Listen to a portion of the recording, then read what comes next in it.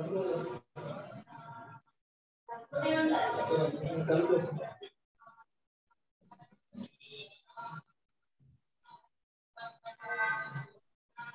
we are live. So uh, I would request um, all of you to just uh, mute yourself for a second so that we can start the session. So, okay.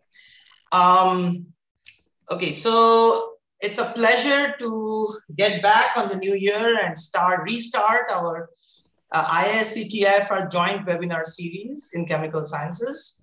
And, um, and we have a treat for you uh, to start this year. Uh, we have Professor Phil Kukura joining us uh, from uh, University of Oxford and is going to teach us how we can use in different ways or in a specifically new way, how to uh, use light to detect single molecules and uh, use that technology to look at variety of problems in biophysics. But before uh, Phil delves into these two tutorial style talks, I would like to um, tell everyone um, the basic genesis of this series.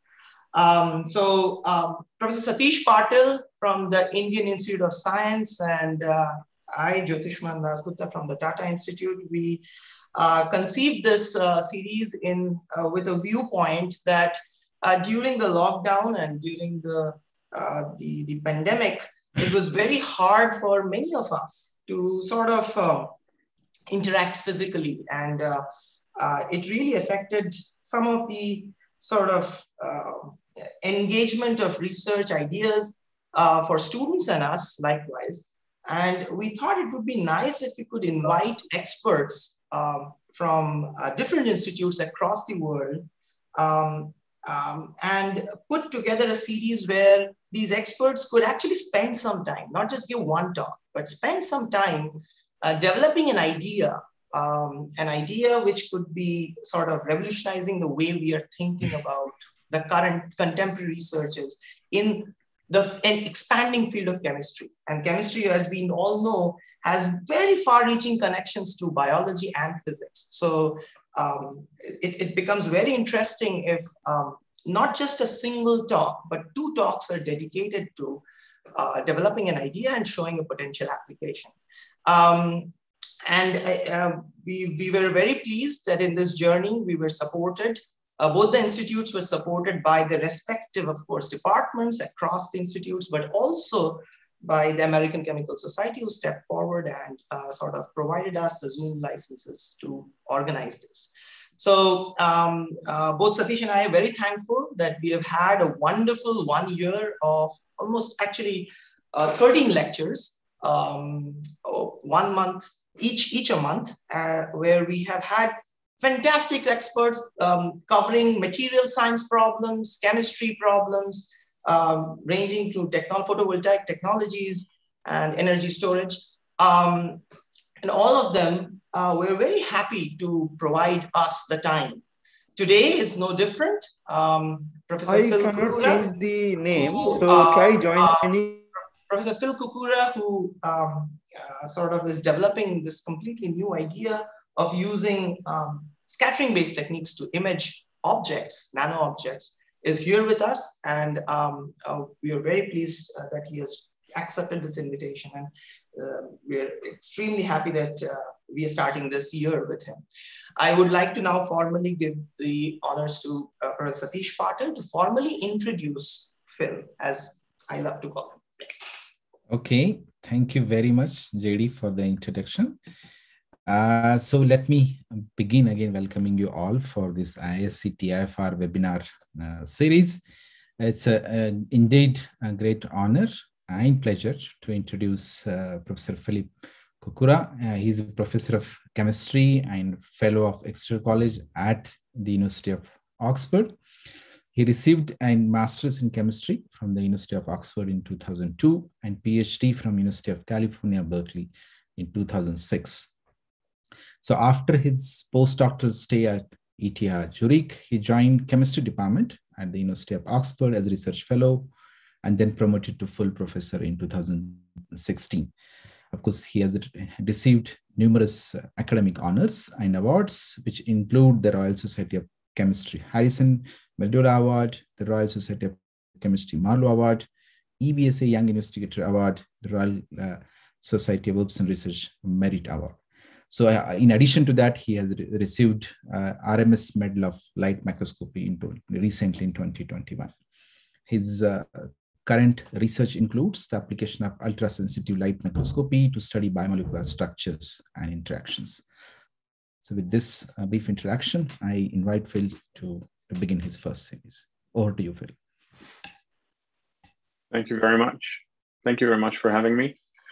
Uh, it's a pleasure. I, I hope that uh, I'll get to visit in person at some point in not too distant future. I'm very excited about the prospect of that. Um, so I, have tried to um, follow uh, follow the instructions at least a little bit in terms of the two lectures. And so today, I want to really talk about um, the kind of technological challenges and the development of um, optics at the single molecule level. Uh, and of course, in, in my case, the focus will be more on um, scattering based detection or you know label free detection, if you like. And, and, and you know, I'll, I'll try and kind of talk you through how this came about and what the challenges are, how we address the challenges, and then ultimately, you know, how all of this development has led to, you know, what I would call more or less the state of the art today. And then tomorrow is going to be all about what you do with it, right? Because um, on the one hand, there's always the fundamental challenge, you know, how far can I push technology? But then at some point, you ask yourself the question, okay, fine, I've done all of this, and and you know, who cares, and and what can they do? So tomorrow is all about applications, uh, and today is all about the principles. So I thought I'd start, you know, really, really with the basics to try and you know put everyone on the same page, uh, and just think about, you know, what, what do we actually mean by a microscope? And in the simplest sense, uh, you know, it's it's it's a tool with which you magnify an image, right, or magnify an object. And uh, you could think about, you know, you know, magnifying glass, and then a really good version of a magnifying glass would be your objective. And just like with a magnifying glass, you have to move it around in order to focus on your object. You do the same with the uh, with the objective. And you know, when you use a magnifying glass, what you what you need in order to see something is you need light, right? And that's usually provided either by you know room lights or the sun. Um, in, in a microscope, again, you need light, and you know that's usually provided by some kind of a camera, or you know if you need more light, then you might use a laser. Uh, and where then the microscope gets a little bit more tricky is that you have lots of different ways of illuminating your sample and detecting the light that interacts with the sample, right? So yeah, you can shine light on the sample and look at what happens in transmission. Or you can shine light on the sample and if some of it gets reflected, you can look at what happens at reflection. Uh, and if you have species that fluoresce so that you can, you know, that absorb light and then emit light at a different wavelength, then you can have maybe a different channel where you do emission. Uh, and possibly you could also include channels which uh, look at scattering light only. So for instance, you can imagine a situation where your laser beam is traveling this way, uh, but you're looking perpendicular to where your laser beam is traveling, right? And then the only thing you will see is light that is, that is being scattered. And then on top of all of that, you can then start playing additional games where you try and change the phase of light and improve the contrast because you're always looking for specific things. Um, now, when you think about microscopes or when you think about imaging, you know the next question really to ask yourself is is, is what what what are you trying to do? What do you care about, right?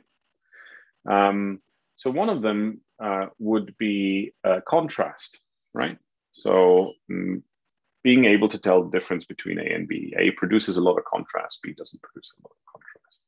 Then the other thing that you may care about is resolution. And of course, uh, I suspect you've heard about this, right? There's been a resolution, a revolution in in in in the resolution of light microscopes over the last ten years, including a Nobel Prize not too long ago. Um, and the basic there, the basic idea is there. Okay, if two objects are really close, uh, can I still tell them apart? Right? and you can think about this very easily, right? If if you're using light uh, to see them, if they get closer than the wavelength of light, you're probably going to have a challenge on your hands, and that's really where these super resolution techniques have done a great job. Uh, the next thing you might care about is sensitivity. What is the smallest thing I can see? Right? You know, how, how where, where, where does where does this end? Is it you know, is it a macroscopic object? Is it a microscopic object? Is it a is it a virus? Is it a protein? Is it an atom? What's the smallest thing I can see? Um, then specificity is very important. Let's say you care about one particular species, but there's many, many, many, many, many others around, right? As the equivalent of trying to find a person in a in a, in a football stadium or in a cricket stadium? And how do you pick out that one person? Um, and then you might also care about speed, right? Because the smaller things get, the faster they move. And if they move really quickly and try and understand the dynamics and try and capture the dynamics, well, then you better take images really, really quickly so you can actually see what's going on. And all of these things, and probably more that I haven't mentioned, are things that people are pursuing and trying to improve the technology in order to better and to understand more. And I'm only going to talk about one of them. Right. I'm only going to talk about the sensitivity aspect. I'm not going to worry about any of the others. I'm just going to ask the question what's the smallest thing yeah, I can see? All right. So, what's the challenge here? Um, so, I kind of mentioned this already in the context of the resolution story. But uh, the problem is the size of molecules relative to the wavelength of light. All right.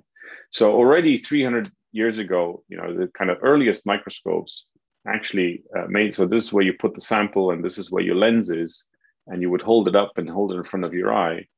Uh, amazingly, these kind of microscopes actually had performance characteristics that are not too different from the best microscopes you can buy today. Uh, why is that? Well, if you think about it, you know, the, the best you can do uh, on in very simple terms is about half the wavelength of light because what you're doing the lens, you're, you know, you're bending the wavefront, if you like. And if you bend it by 90 degrees and you get an interference pattern, have half the wavelength of light. And in many ways, that, that limit still holds true today. We've found ways to get around it. Um, but when it comes to focusing light, it certainly is still true. So what that means is if I have a light beam and I take the best lens I can buy, I can focus light to about half the wavelength.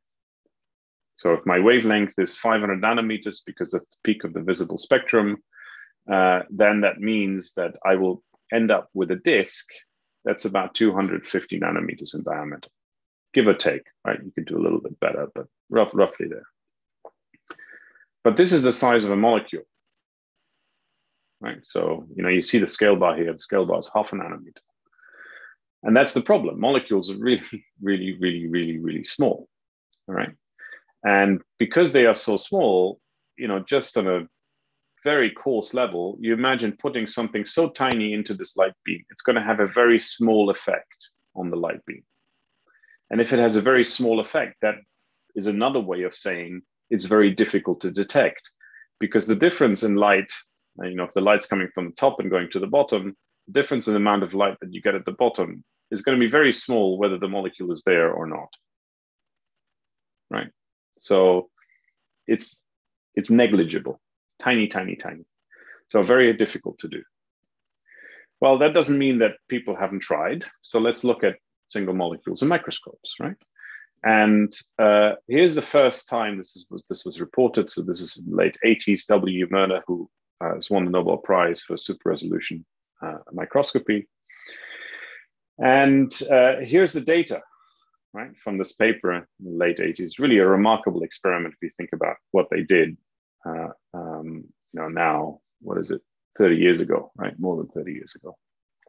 And essentially what they what they did is they they used modulation spectroscopy so they didn't try and necessarily detect the molecule all on its own what they tried to do was to uh, detect uh, a, a, phase shift caused by the molecule in a relatively complex way that was all designed to suppress noise.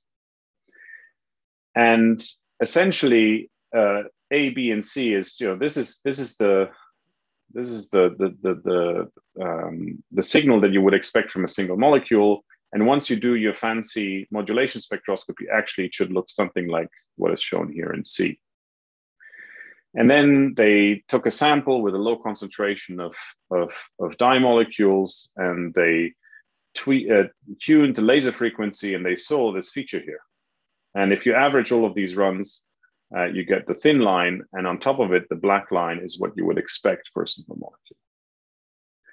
Uh, and then when they moved away from where they would expect uh, the the um, the signal to be, then they then they didn't get such features. Right.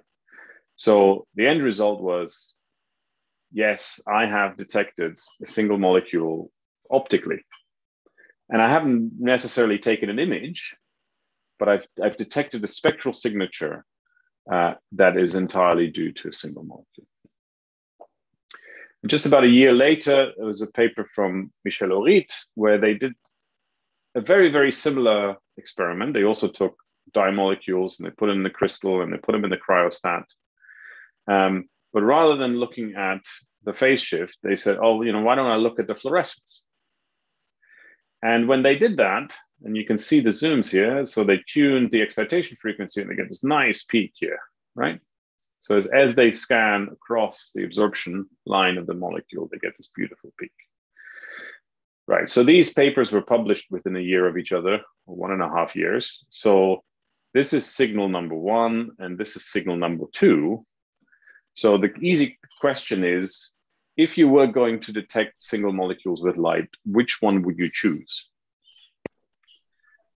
And I think the obvious answer is you're going to pick fluorescence because your signal to noise ratio is so much better, right? And why is it better? Well, it's better because in fluorescence, you excite at wavelength one and your molecule emits at wavelength two, which means that if you can find a filter that suppresses this light and lets through this light, you can separate, you, you will only see species that have this property of absorbing at wavelength one and wavelength two. If you don't have that and you're just using your excitation light, anything that produces signal uh, can give you trouble. And that's why you have a lot more background. All right, so this was 1990. And this is an image that I took, I think, 25 years later. And every one of those red dots is a single molecule, right? I mean, just amazing. I mean, you know, as, as, as far as as far as our eye can tell, infinite signal to noise. Um, so, you know, I got into this 10 years after single molecule fluorescence started, or 15 years after single molecule fluorescence started. So people had known this for a long time. Single molecule fluorescence works, right? Um, and and it satisfies a lot of the issues that I kind of, or a lot of the the challenges that I outlined earlier, right? You can get specificity and you can improve resolution. You can do all of these amazing things. Um, and it was more or less accepted that if you wanted to look at single molecules with light, the only way you can do it is with fluorescence because not using fluorescence is just too hard. There's too much background. The signal from a single molecule is too small. It's not going to work. And that's because you don't have that background rejection capability. All right. So then you might ask, so why why would you why why nevertheless try? Well, I'm not sure I entirely, you know, I, I have a good answer to that question.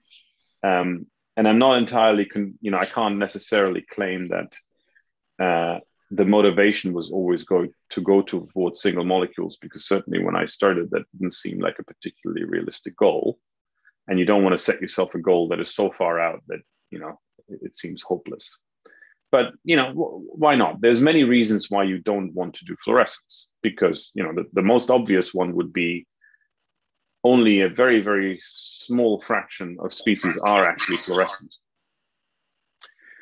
um, so if you want something that is universal you're not you can't use fluorescence and and scattering might be might be better Okay, so let's try non-fluorescent detection. And we're back to our problem. And let's say you wanted to detect a single protein. It's kind of the same problem we had before. It might not be, you know, now it's maybe a little bit bigger. Maybe the protein is five nanometers in size, but it's still really, really small compared to the diffraction limit. So you have a problem. And you will say, well, but I know how to fix this.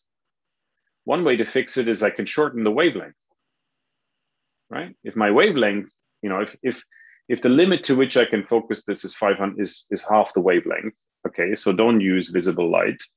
Um, use something else as a shorter wavelength, and then you do get a strong interaction. You get lots more information, and you're absolutely right.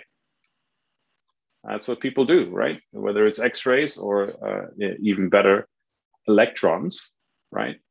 Um, you can now take images of single proteins and uh, ultimately, it comes down to the fact that you're using shortwave. All right, but I I like light. All right, and there's a there's a number of reasons why light is good because you make the wavelength shorter, things get unhappy, right? Uh, biological samples are not so happy uh, with electrons and X-rays, um, and but they're really quite happy with light sunlight, right? That's not a problem. In other words, you can look at dynamic processes. Uh, you can look at you know living cells. You can do uh, uh, you can do the experiments in a fashion that is compatible with things changing, rather than them being static. And and most of what you know X-rays and electrons do is deal with static samples. All right, so we're still we've convinced ourselves light is a good idea and we don't want to do fluorescence all right? So what are you going to do? Well light scattering would be one All right? so here's here's an example right? Uh, uh, single molecules single ion scattering right? So this is this this is this experiment that i basically just described to you where imagine a laser beam is traveling this way and you're looking at 90 degrees uh, and this is from from from oxford here uh, and what they're studying is they're studying single ions and traps. So take one ion, they put it in a trap, uh, and they you know do experiments on a single ion. And what David did, so this is a picture of his trap. You know, there's a big um, uh, vacuum chamber, and there's a little window. And he took his camera, his you know a good uh, camera with which you, you know, like a Nikon or something, you know, some camera with which you take pictures of birds or sceneries or your family, whatever. He took a picture of his of his trap, uh, and then he loaded the trap and took another one. And what you see here is, you know, with a normal camera, you can see one ion. There it is. So, what is the limit of light scattering? Well, the light scattering limit is one atom. You can do it. So why does this work? Phil, question. Yeah.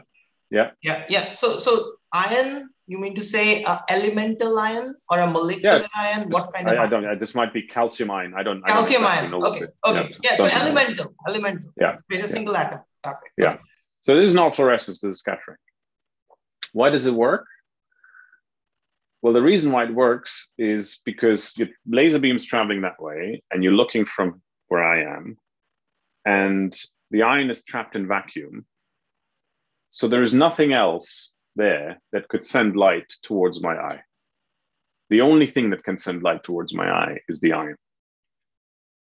In other words, in principle, scattering should work just as well as fluorescence if there is no background.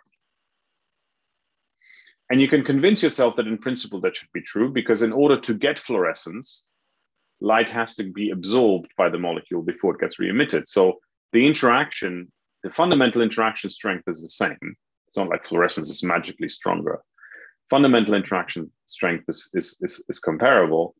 Um, uh, but in one case, it's really easy to suppress the background. In the other case, you have to build a trap and trap an ion in vacuum. It's really hard. And you're not going to go trapping, you know, proteins in vacuum to figure out what's going on. Fine. So if you want to study biomolecules, if you want to do studies in the condensed space, what are your options? So this is this is the kind of experiment that I just described, right? You've tr- you've trapped an ion and you've arranged your optics in such a way that your illumination light does not go into your collection optics, and you have a detector. In a biologically compatible environment, the equivalent is what people call total internal reflection. So this is a trick where you have a prism, or you can do it differently, where essentially light is reflected at an interface perfectly reflected. If you just get the angle right, it gets reflected. Uh, but then when it gets reflected, there is an evanescent field. So the, the, the, field strength is not zero immediately, it kind of decays exponentially. So if you put an object just at the interface, that object will experience that evanescent field. And because it's a scatterer, just like the ion was a scatterer on the previous slide, some of that light that is evanescent will get scattered out. So if you put an objective on the other side of this, you can collect that scattered light. Perfect, right? You have a laser beam that is being reflected and you're collecting the light scattering. It's the same experiment as this one should work just as well. Well, unfortunately, it doesn't. Uh, because it will only be perfect if your interface is perfect, atomically flat, completely. There's no impurities, nothing. As soon as there's anything there, like the particle you're trying to detect, you're going to get background. And it turns out that your detection limit, if you build a really, really good version of this, is on the order of 20 nanometer gold. That's or roughly that's where it was. So why did I pick a gold particle? Well, gold particles are metallic, right? They're shiny. Um, they happen to scatter light really efficiently. So you can have a really small object and it still scatters a lot of light. So this is the smallest particle you can see. And the fundamental reason here is if you look at the scattering cross section, the scattering cross section scales with the volume squared and the optical properties. So if you think about it, if you go from 100 nanometers, uh, 100 nanometer diameter to 10 nanometer diameter, you lose a factor of a million in signal. That's a lot of signal to lose. So the scaling is against you, and as your particles get smaller, the amount of light they scatter gets less and less and less. And if you do the calculation, uh, you can ask yourself, say, well, I have a rough idea what the cross scattering cross section is for a gold particle, and I can probably figure out what the scattering cross section is for a protein. Um, uh, so, you know, how big are they relative to each other? This is my detection limit for gold, and the answer is it's about a million times bigger than scattering cross section for protein. So, in other words, this is never going to work, right? I mean, the smallest signal I can see is a million times bigger than the signal I need to see for a signal to noise ratio of one. So it's never going to work. Um, fine. So you could give up, or you could say, well, maybe not quite yet. Let's let's let's think about this a little bit differently. So let's go back to the basics. Remember, I said if I take a molecule and you put it in the focus beam, the interaction is going to be very small. You're right, it's very small but it's not zero. It's just very small.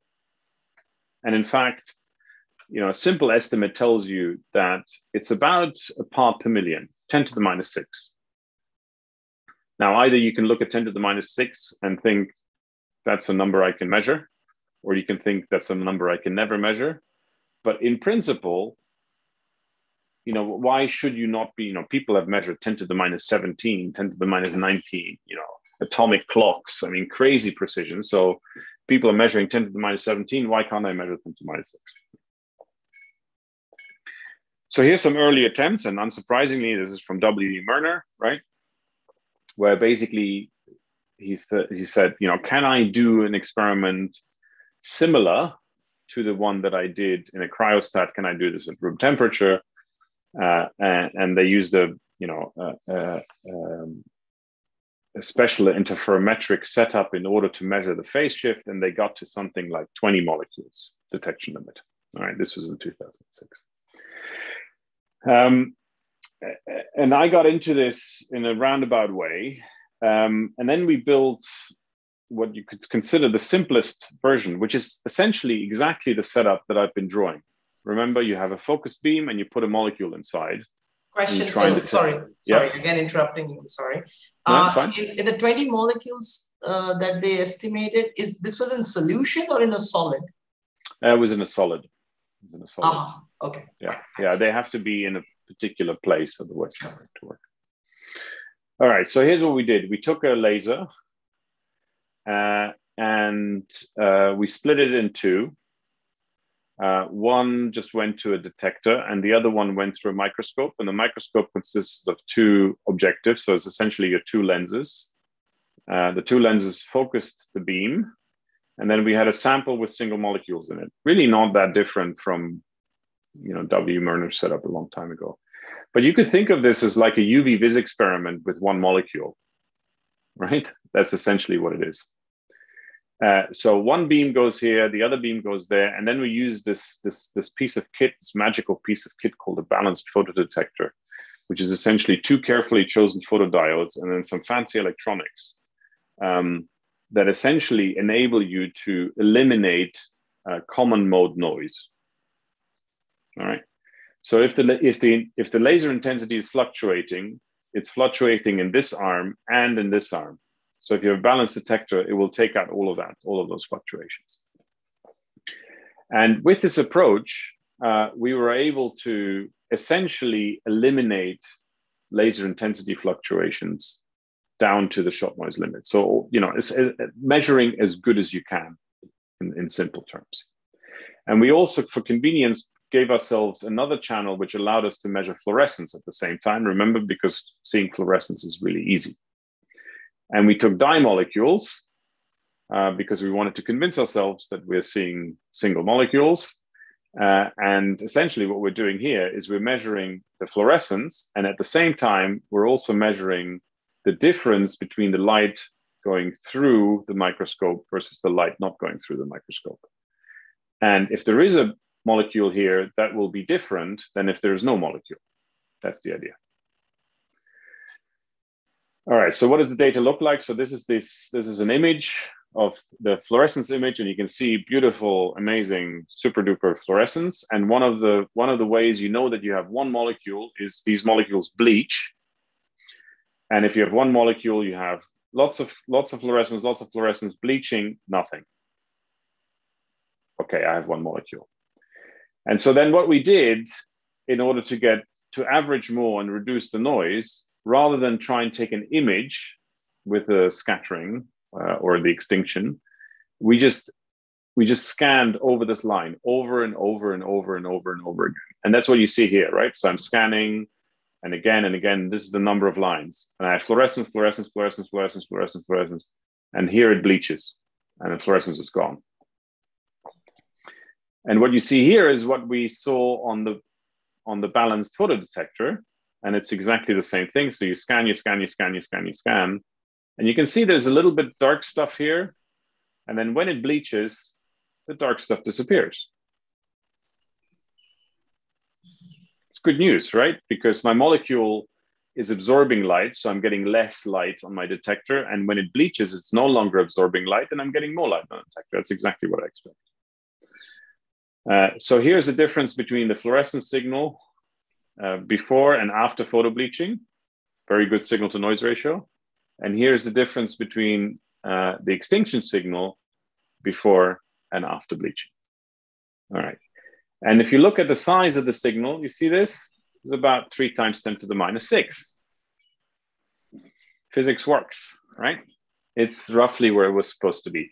It was actually a little bit bigger than we expected because when you measure uh, uh, absorption cross sections, you do it in solution. And of course, molecules can have any orientation. Here, we picked molecules that were super bright, which means the, the, polar, the dipole was aligned with our excitation polarization. So we got a little bit more signal. All right. So the answer is you can do it. All right. You, you can see a single molecule. Uh, and you will say, but why? this looks so much better than that. Why would you why would you do that? Well in the first instance it was just a question of you know what is actually possible? Can, can you can you actually make this work? And the answer is yes you can. And now you might say well congratulations but you're still doing this with a dye molecule right? So the entire argument as to why you didn't want to use fluorescence has just gone out the window because the only way you can make it work is if you have a molecule that's really, really good at absorbing light. So what about non-resonant interactions, right? So I'm not looking at a dye molecule which has a super duper dipole. I just want to see a single protein. Can I see a single protein? How do I, how do I think about doing that? All right, so I'm going to try and change your thinking here a little bit. How do you detect small things really efficiently? So you will all have seen this at some point in your lives, and I'm going to make the claim that this is probably the smallest thing you've ever seen with your own eyes. So you know what this is? It's an oil film on top of water. Uh, and you can see you can see slightly different colors if you're not colorblind like me. If you're colorblind, you see slightly different intensities. And what's happening is quite simple, right? You have light that's coming from the sun, and some of it is getting reflected at the oil air interface, and some of it is getting reflected at the water oil interface. And those two reflections interfere with each other. And depending on the thickness of the oil film, different uh, wavelengths interfere constructively or destructively in terms of the reflection that hits your eye. And it turns out, you know, if the film is 100 nanometers, it will look green. And uh, if it's uh, uh, 95 nanometers, it will look orange. So your eyes are able to tell a difference on a length scale of five nanometers, which is the size of a single protein, which is amazing, right? I mean, using the sun as a light source and your eye as a detector, and you can see five nanometers, all right? Of course, where I'm cheating here is that you're averaging over a large uh, areas, right? Because I've got the whole freaking pond that I'm looking at. Um, well, the answer to that is just do the same experiment in the microscope right? Because now I can confine laterally to 200 nanometers and I should be able to use the same interference. So now I'm getting pretty close, right? Five nanometer difference, 200 nanometers, not so different, any, not so badly different anymore compared to the size of the protein. There's a question in the There's chat. a question, yes, yes. Yeah. Even if the dye bleaches, there would be some loss by scattering. Is that also taken into account? Uh, yes, you're right. Well, it's not. I mean, I think the answer is I don't know. Uh, all I know is is that the loss of light that I had due to absorption is now gone.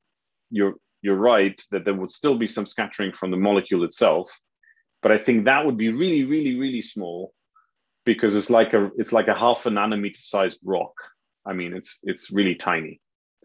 Um, the, the what I'm really detecting here is the is the loss of the of the transition dipole, which is large polarizability, so an efficient interaction between light um, uh, uh, and the molecule.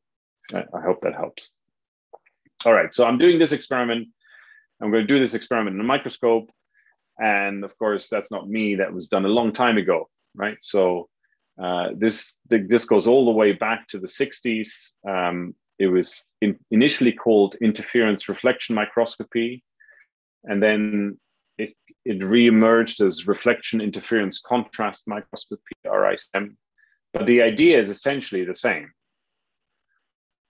Uh, is essentially this one, right? You're doing this experiment on a microscope, but rather than shining light from the top, you actually shine light through the microscope and look at what comes back. And if you think about a cell on a cover slip, right? uh, you will have reflections from different parts of the cell. And essentially, you'll get the same kind of interference behavior that you have from different thicknesses of oil, right? Because oil is has a different refractive index, different optical properties to water, and that's giving you this pattern. And a cell has different refractive index to water, and that's also giving you the pattern just on a smaller scale. And people use this for a long time to understand how cells adhere to surfaces because you can you can actually measure the thickness of the cell with really quite high accuracy. And the reason why you can do that is because you're using interference. Remember, the five nanometers already makes a big difference. Fine. So, but we're trying to get smaller. So, how do you get smaller? Well, uh, then in the early 90s, you know, Brad Amos um, you know, one of the pioneers in confocal microscopy, they were building these, these confocal microscopes, and usually they were using fluorescence. Um, but because you know they were the pioneers, they thought, oh, maybe we can just look at the scattering as well. So it's essentially a laser light source, a beam splitter. They shine light on the sample, look at the light that comes back, and what they looked at were microtubules. So microtubules are these filaments uh, um, you know, about 25 nanometers in diameter, and the diffraction limit is about 200 nanometers or so. And when they looked at these microtubules on the glass cover slip, they saw this. Right, so you see all these nice black lines, and those are your microtubules.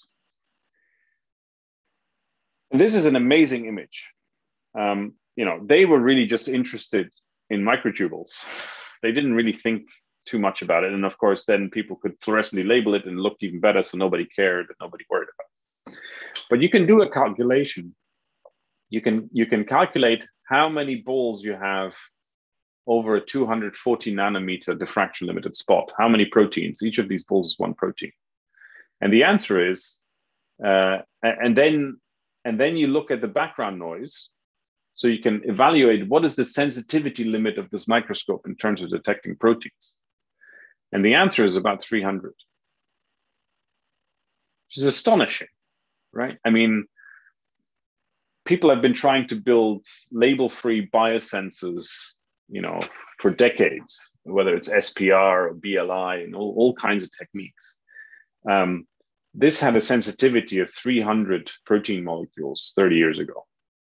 It's just that it, they didn't think about it necessarily in that in that sensitivity context. But I'm pretty sure that that this must have been by a long way the most sensitive uh, uh, label-free biosensor out there. All right, so I got into this uh, quite a bit later, um, uh, and we did something similar. You know, there's a laser illuminating uh, a sample that's sitting on a piece of glass, and then you look at the light that comes back at the glass-water interface, and you put it on the camera. And we call this ISCAT uh, or interferometric scattering microscopy. And, and probably the key thing that, that we brought to the table, at least from my personal perspective, is that is, is maybe an obvious realization in hindsight, but I think it was nevertheless an important one in the context of the whole field, which is uh, if you think about uh, your signal to noise ratio, which is essentially the optical contrast that you see divided by the background fluctuations. Because of the way this experiment works, your signal to noise ratio is essentially equal to the contrast multiplied by the square root of the number of photons you detect. So what does that mean? If I make n bigger, I can improve my signal to noise ratio. And if I want it to be bigger than one, no matter how small my contrast actually is, I can always lift it above one if I just make n big enough, right? How do you make n big? Well, you need lots of photons, so you need a laser source. And uh, uh, you know, you either put more and more light on or you integrate it for longer or you do both. But as long as n goes up and if you do the experiment perfectly, so this only holds if the only noise source in your limit in your in your image is shot noise. So you know the intrinsic fluctuations of photon arrivals. If you do the experiment perfectly, it does not matter how small the contrast is, you will be able to see it as long because you can always put more n in. In other words, yes, it may look bleak and the signal may be very small from a single protein, but you should be able to see it. You just have to integrate long enough and make sure that your signal, that your that your image is is entirely shot noise limited. All right, so let's think of so if this is so simple, why hasn't everybody done this? What's the problem? What's the big deal? Why, why, why not do this? All right, so let's think about image formation, nice guys. So this microscope, very simple, right? Laser, objective, sample, beam splitter, so the light that comes back reflected goes into camera, all right? So when you when you build the setup, what you will get is what you see here. And which means you've spent, you know, depending on what parts you use, anywhere between two and between three and 30,000 pounds on components. And then what you've done is you've taken an image of your laser beam. right? In a really, really complicated way, you've taken this is an image of my laser. So this is, you know, how am I going to see a tiny, tiny signal? It's never going to work. Um, you know, there's huge variation in intensity. It's inhomogeneous. You, you're not going to see it. But uh, what you can do is you can translate the sample, right? And if I move the sample, assuming that my laser is a good laser, let's assume my laser is a good laser. If I move the sample and I move it horizontally, the only thing that's going to change is the image, right? This pattern is going to stay the same. So it's just the background. So I can just subtract it. And indeed, when you do that, you get this. All right. So what is this? Well, it looks like variations in the reflectivity, almost like a speckle pattern on the order of a few percent. Uh, and this is uh, from the cover glass. This is if you take microscope cover glass, it's not perfectly smooth. It has slight roughness, and that slight roughness produces this pattern. All right. Okay, so you say, fine. Congratulations, now you've measured the reflectivity of microscope cover glass. What does that mean? All right. Well, let me just give you a few more tricks because, you know, to explain why nobody's done this. So the other thing you'll see, so here we put some nanoparticles on, you can see the nanoparticles and you have lots of noise. So you need to take the noise out. And if you can measure the background without the nanoparticles, now you get a much better image. And essentially what we do there is we take a median. So uh, we translate the sample with time and we see all of this, you know, uh, you see the particles come in, but if you take the median pixel value, you get a really good background image and you can remove the noise. And then maybe you have some fringes interference patterns because you're doing interference. And then if you filter it well, then you can get rid of those as well. And if you play all of these games and you build a really good setup that's stable and you know do all the right things, then you get an image like this. Um, and uh, essentially what you see here is now I haven't used microtubules, I have used actin. So actin is now not 13 filaments, it's just one. Uh, and you can just about see these lines, you know, quite thin lines. Uh, but you also see the speckly pattern from the cover glass. And if you do the same calculation and ask what is the detection limit, then the detection limit now is 70 proteins. All right. So still not a one. What am I going to do? Well, the answer is is a little bit like here, right? So your your detection is 70 proteins because you have so much background. How are you going to see one protein? Which is the same question as uh, some of you may have asked yourself when you look at these books. I don't know whether you know these is I think they're called Where's Wally or Where's Waldo, depending on what country you're in. And it's it's like these parents torturing devices where in the evening when everyone's exhausted, you have to go and find Wally and his friend and the dog and the keys, and they're all hidden somewhere in images like this which is not too different from finding a single protein in this mess, right? Right, so we're looking for Odlaw. This is Odlaw, right? So I give you 10 seconds to find Odlaw. Let's see if anyone can find Odlaw. It's hard, right? I mean, oh, yes. anyone see Odlaw? No. No, no difficult. Okay. Mm. How, how about now? Can, can you see Odlaw now? Yeah. Right. and the trick is all I have to do is I have to take one image with Odlaw and one image without odd law. And if I subtract the image without Odlaw from the image with Odlaw, I get Odlaw. All right. So uh, that's essentially what you do. You have a horrible background image. You have the same horrible background image. You subtract the two horrible background images from each other, and you only see the change. So we've done this once when we removed the laser beam, and now we've done it again when we remove the background. Uh, and essentially, you get from a situation where you know this is eight percent now. You see how much this is like a factor of uh, uh, at least a factor of ten, if not a factor of fifty smaller, the Z scale between these images. And when you do that, uh, here's your actin, We added a molecular motor called myosin 5, which lands on the actin. And if you add ATP, it lands and it moves. We subtract this image and we get a movie like this. Right? You see these little black dots, and they can happen to coincide with the lines where the actin is. And when you get really lucky, you get a movie like this. And you can see that the little black dot is kind of jumping forward the reason why it's jumping forward is because the motor takes steps, and those steps are 37 nanometers, right? And that's that's essentially what you what you see here. Uh, Phil, question. Yeah.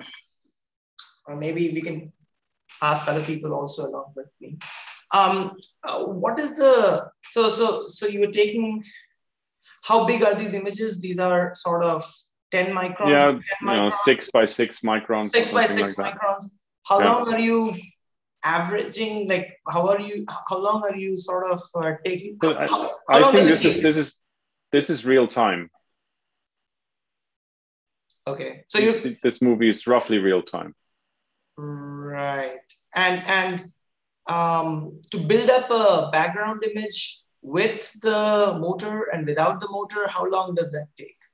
Few sec few uh, milliseconds? 100 milliseconds or something. Milliseconds? Quick. 100 milliseconds. Yeah 100 milliseconds yeah Okay. Okay. And and uh, so if you were to just calculate what the contrast that you're achieving here is roughly how much it's uh, so here you see the number. It's a, right. So the contrast okay. is about point point one percent point two percent.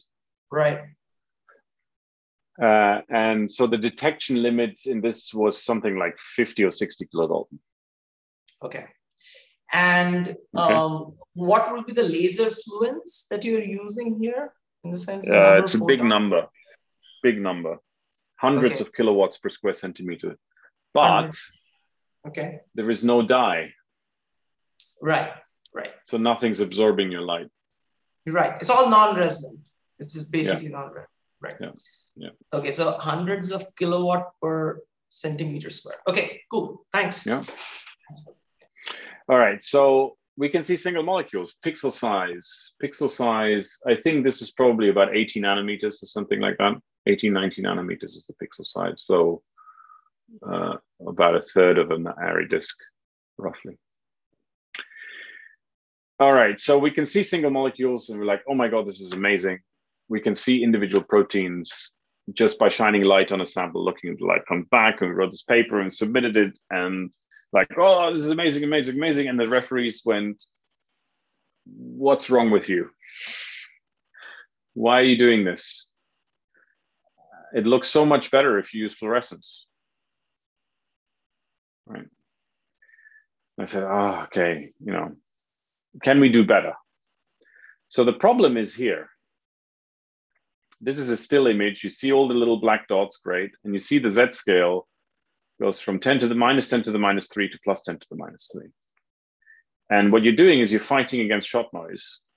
I've got a question here. Yes, Vivek, could you? Yeah. yeah. I just wanted to ask it at this point before we move ahead. So, uh, the you know, as the actin is uh, jumping over the microtubule, I guess the the fastest processes that you can then uh, measure is then dependent on, I guess, the, the millisecond number that you mentioned, like yeah. yeah. So, so, it was in, you know, it was probably 10 hertz in that paper. That's okay. as fast as we could go. Yeah. Okay. Thank you. Um, yeah, so the problem is this signal is small, and essentially then you can do a do a calculation. If you wanted to have you know kilodalton sensitivity, you need to detect a lot of photons, and essentially you're again a factor of 10 to the six out you have to put so much light on and you get so much light back that any camera that you can use is essentially going to blow up. So what do you do? Right? You still you can still put more, there's more light to be put on, but you can't detect it. Another way of saying that is, you know, is there a way of enhancing the contrast? All right. Um, so how do we enhance the single molecule contrast? So here, here's a possibility, and this, this is an interesting one this is during my postdoc time, is completely unrelated. Um, uh, you know, one of the challenges in quantum optics is that you have a single emitter and you want to you want to get every photon that that single emitter emits, because if you get every photon, then you can do quantum optics efficiently. And then that was kind of rumbling around. And it turns out if you take if you take a single emitter and you put it in an interface between high refractive index and low refractive index, almost all of the light is emitted in a particular direction. Right? So it looks something, something like this. And then we thought, well, what we're really trying to do here is we want to get all of the scattered light and we want to put lots of light on the sample but we want to reduce the amount of background light, the light that is just reflected at the interface. So how do we reduce the background light without reducing the scattered light? Well, this is your answer, right? If this is your objective, your scatterer scatters only to the outside if you illuminate your sample, you can do what people call as wide field illumination. So you essentially focus your laser beam into the back focal plane of the objective, and that creates wide field illumination. So your laser beam is only, if you like, in the middle of the objective lens. And so what we did is we took a piece of glass, put a little mirror on it, uh, reflected off of the mirror, and this mirror transmits only 0.1% of the light. So all the light that is reflected comes back. Most of it goes back into the laser. Only a small fraction goes through. So you change R, but S doesn't change. So the, the scattered light is on the outside uh, and still hits the camera. So what does that actually do? If you don't have a mask, remember you had this image, and then when you translate it, you subtract the, the, the laser beam, you get a few percent if you have a mask that transmits only 1% of the light, now already in the image of the laser, you can already see the glass roughness because you enhance the contrast. And when you look at the glass roughness here, you see it's a factor of 10 bigger. And that's exactly what you would expect. You reduce the reflected light by a factor of 100, you get a square root of 100 improvement in contrast. So it's a factor of 10. So in other words, I, I, I solve two problems. One is my contrast gets bigger, and two is I reduce the amount of light hitting my camera. And when I use this setup in order to look at single molecules, I get a movie that looks like this. All right. Now I'm not looking at molecules binding to actin and moving. I'm simply watching molecules land on a piece of glass. The reason why they appear and disappear is because I still have to do my Odlaw, no Odlaw subtraction. So I'm always subtracting frames 10 to 20 from frames 0 to 10. So if the molecule binds in the middle, I get a big signal. If it's already there, it disappears. If it isn't there, it disappears. But you can see now the signal to noise ratio is amazing, right? I mean, it's as good as you get in fluorescence effectively for a single molecule. And the reason why that's important is so we take this difference, we get the signal. The reason why that's important is essentially what we're doing is we're averaging uh, a bunch of frames here and a bunch of frames here, and we're sliding this across in time. And depending on when the molecule binds, we will therefore see a different signal. If the molecule binds exactly in the middle between the two frames, I get the maximum contrast. And before and after, I get a smaller contrast. And this is how the contrast changes as a function of frame number. if you can measure it like this, what you can also then do is you can determine this number very, very, very precisely, which essentially means that you can measure the scattering contrast from one molecule with very high precision. All right. So you get high precision and you get a big signal. So now a 400 kilodalton protein produces a signal that's almost a percent. Nobody's scared of a percent, right? 1% is easy to measure. Everyone can measure 1%. But everything gets better, also life gets worse. You then realize, uh, essentially, remember we have this glass roughness. Uh, 10 kilodalton corresponds to one angstrom. Because we're taking differences. If your if your glass cover slip shifts by one angstrom, it produces a signal that corresponds to about 10 kilodalton. So you need a super stable setup. We spend a lot of time making this more and more and more stable. So let me show you what the setup actually looks like and also what the experiment looks like. So, so here you see, uh, here you see essentially just the laser, you turn the laser off. Uh, here's a bit of buffer. Yeah, this is the microscope objective. You take a few microliters of your sample, you add it to the buffer, close the lid, turn the laser on, and there you have molecules. Okay, so that's that's actually how the experiment works, right? And they just bind, uh, uh, bind, bind to cover glass. And that you know, there's there's a lot of engineering in there, but ultimately, you know, when we did the first experiments like this, it had to be two people.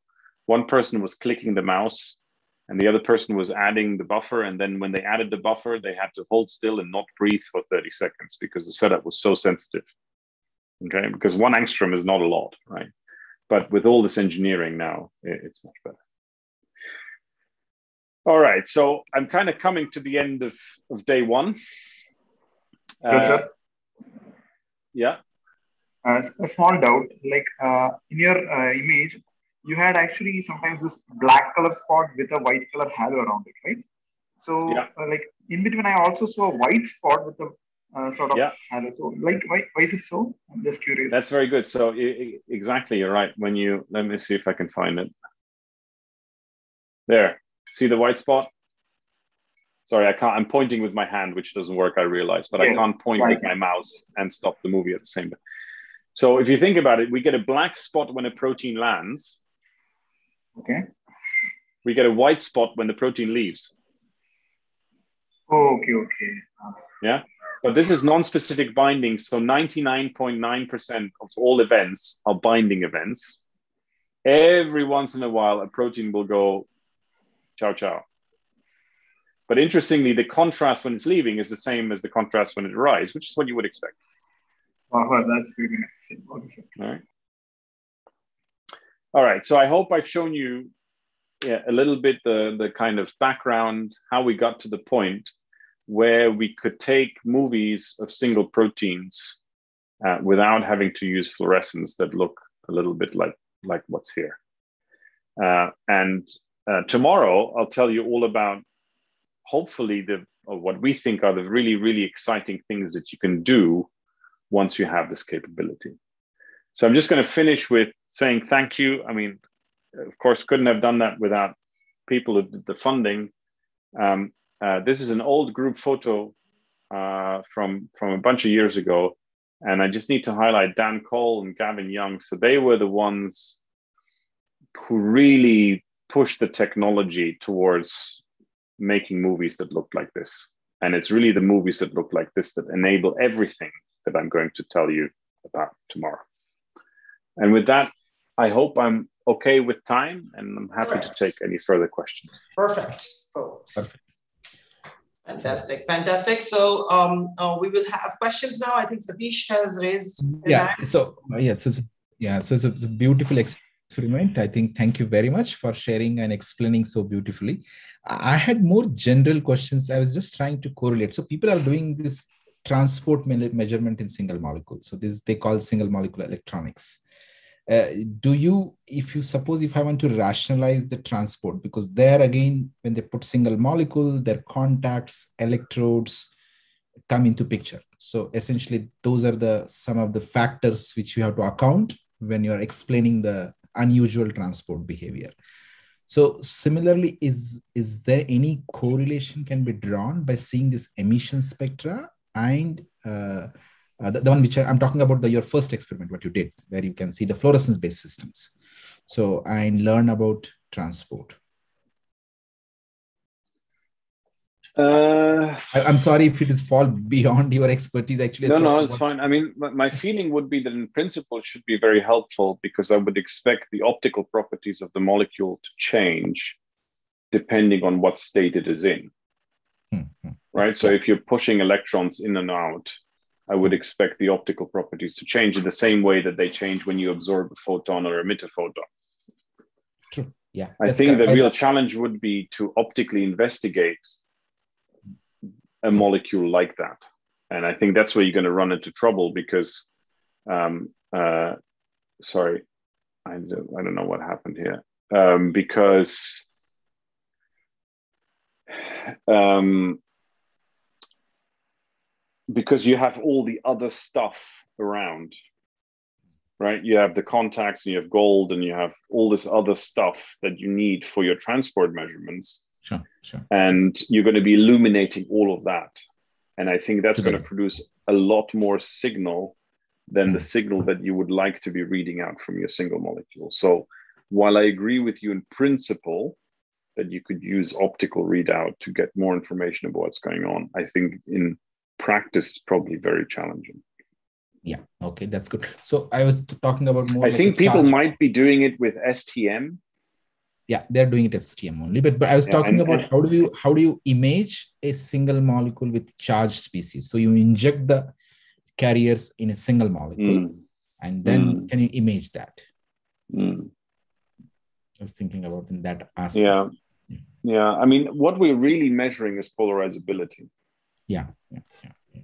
So if you had a difference in polarizability, then you know you might be able to see a difference for different charge states. Okay, Vivek. Okay.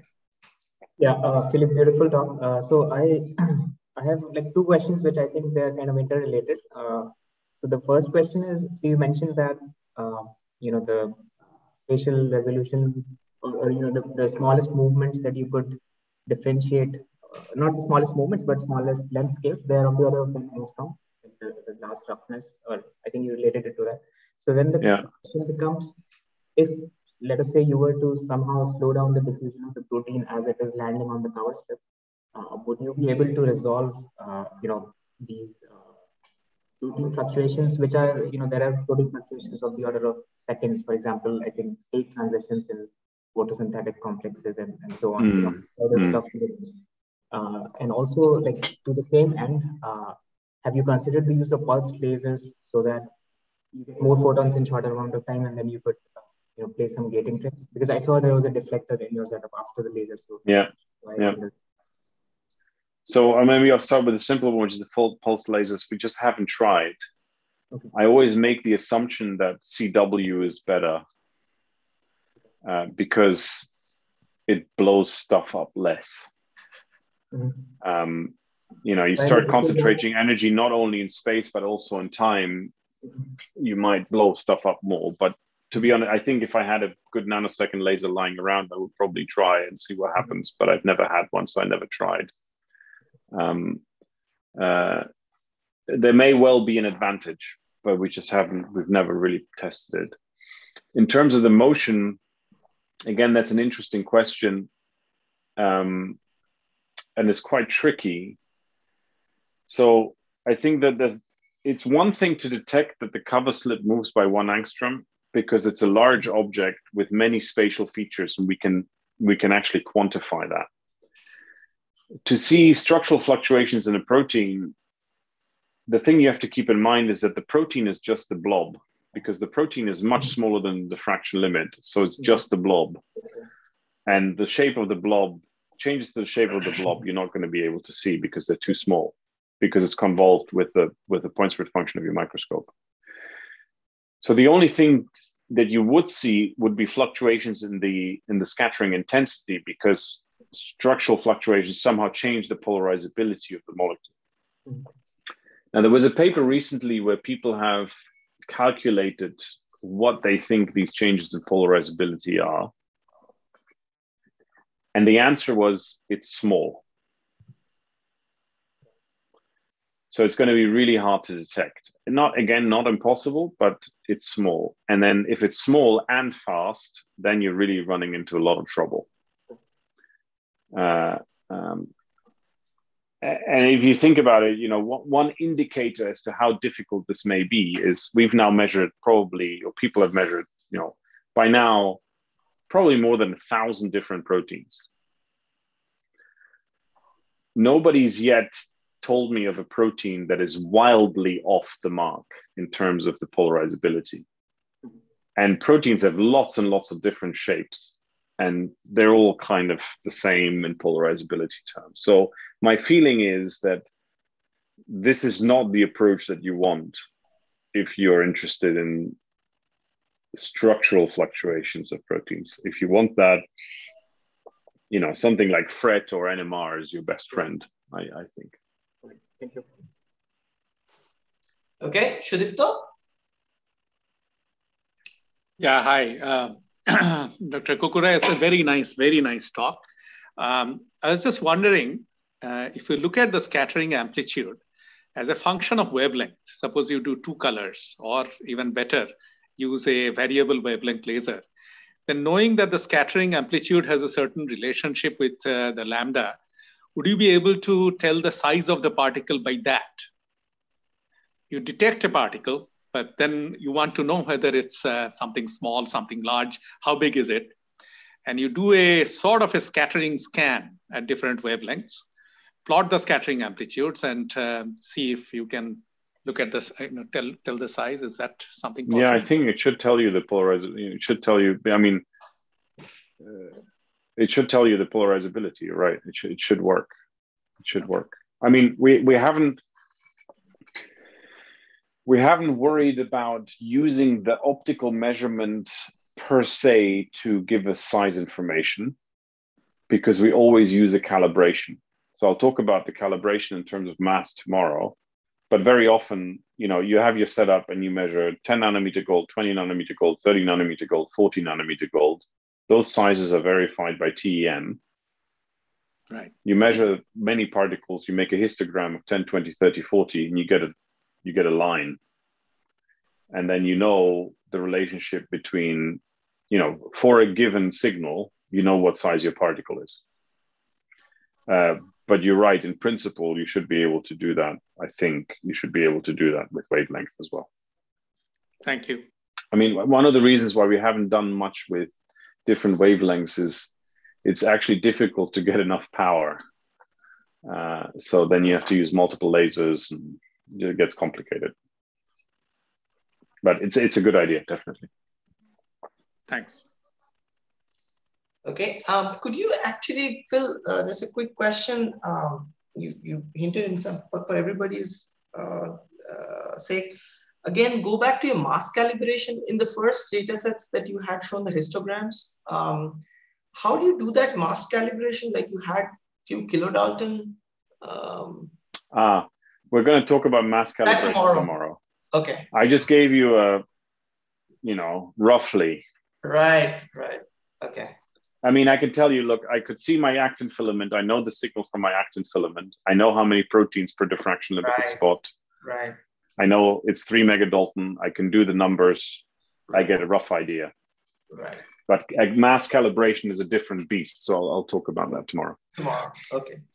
Uh, there's a question in the chat box which actually says, Suraj Yadav says, can you please elaborate the application part of the single molecule. I think this will be second talk, Suraj. Second talk, yeah. I will spend an hour on that tomorrow. yeah. Um, question, Shovan. Shovan, yeah. I feel it's fantastic, you know, great, uh, innovative ideas. Uh, few things like, you know, uh, like what you just mentioned, that probably for the structural analysis, uh, FRET is the better uh, friend in that way. Uh, is it then possible that you combine this along with the FRET, that you know, you have the proteins that's really going and uh, attaching to the surface. On the top, you have another objective, you uh, collect the fluorescence. And then probably with that, you'll be able to talk about the structural information about that. Absolutely. Yeah. Absolutely. All it's right. just a question of wavelength availability. Exactly. So I, I think that's the uh, you know more tricky yeah. part to really uh, look into. But hundred yeah. percent, yeah, absolutely right. Yeah. Okay. Yeah. And second thing is that, you know, is it at all possible uh, to look at the Raman signal? Probably not. Oh, well, you know, slow. I, mean, I, ha- I, have a, I have a long, I have a long history and love of Raman. Uh-huh, uh-huh. Uh, so I think JD, JD would say that anyway. I think, uh, I think once a year I do the calculation. Uh-huh. Great. uh, once, once a year I take a piece of paper and I go, oh, surely, this, surely, uh, no. um, but I think actually uh, it's it's probably worse than that. Um, for, at least from my personal perspective, you know, Raman uh, has this mythical thing of chemical fingerprint, right? Uh, you know, I can not only will I be able to tell that there is a protein there, but I can also tell which protein it is because I get the chemical fingerprint. Exactly. And that's that's how I grew up uh, as a Raman spectroscopist. And as you'll see tomorrow, um, at least I have been, in, in terms of protein identification, I have been converted to mass. because you take protein A, protein B, protein C, you know, they're all the same amino acids. The difference in Raman spectra are not big if you don't have chromophores flying around. True, true. It's tough to tell the difference on the Raman spectrum. And then it's going to be even tougher to tell the difference if you only have one protein, if you somehow manage to measure the spectrum. But mass, right? You know, 60 versus 80 kilodalton or 100, that's good. And if you can measure that precisely and accurately, uh, yeah. So I, I don't mean to speak badly of Raman spectroscopy because I am a big fan, but I think in this very specific application, maybe mass wins. Sure, sure. Great. Yeah. Sure. Thank you. Thank you very much. Excellent. Cool, cool, Shaman. Thank you. Um, any other question from students or uh, attendees here? I don't see any hand up. Well, there aren't any, I think. So that gives Phil um, a bit of a relief, I think, for today. So Phil, uh, thank you very much for doing the first talk and um, it was fantastic. Um, uh, you went through the basics very slowly and calmly. So I, I think people have food for thought and they'll read the papers going back. And tomorrow we'll start um, with your applications. And if there are any questions from the previous talk, so it might, yeah. you know, you, you can marinate on them. So, so, so think sure. about it. Absolutely. Um, I just wanted to end this series by this particular talk by saying that uh, we are actually thankful to ACS, uh, Diksha Gupta and Ajay Jha for putting this all together. So thank you, uh, Diksha. Thanks, thank you, Ajay. Yeah. Satish, any yeah, words? Thank you. Yeah, no, thank you very much. I think uh, people can think over it. You know, they can perhaps we can start this session if they have even questions tomorrow for today's talk also. It's fine. So we can begin from there actually. Yeah. Thank you very much. Thank you. Thank you, Phil. Brilliant. Thank you. See you tomorrow. Yeah, you. take Bye-bye. care. Take yeah. care. Bye-bye. Have a good lunch. Yeah. Bye. Yeah, thank you. Thank you. Bye. Bye. Bye, JD. Bye.